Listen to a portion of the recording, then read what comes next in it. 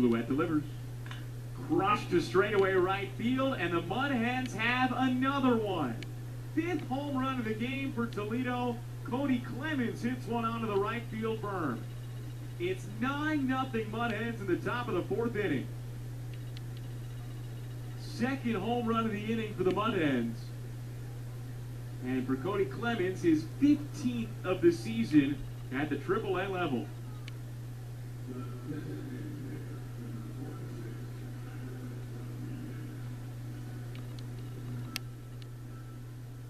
Brings up Adderlin.